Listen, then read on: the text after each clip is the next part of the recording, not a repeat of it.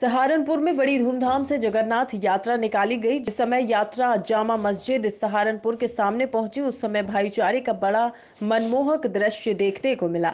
सहारनपुर के मुस्लिम समाज के लोगों ने फूल मालाएँ पहनाकर यात्रा में शामिल लोगों का जोरदार स्वागत किया। इस मौके पर समाज सेवी अनवर मलिक सरफराज, आरिफ खान व अन्य लोग उपस्थित रहे। इस तरह के कार्य समाज में भाईचारे को बढ़ाते हैं तथा गंगा, जमुना, सरस्वती को जोड़ती है। उसी तरह भाईचारे का संदेश कायम किया।